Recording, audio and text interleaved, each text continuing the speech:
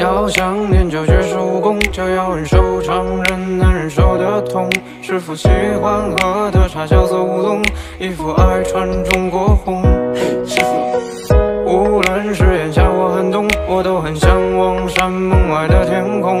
还在南方等我下山的我的人叫小罗。我左手一式太极拳，右手一剑刺身前。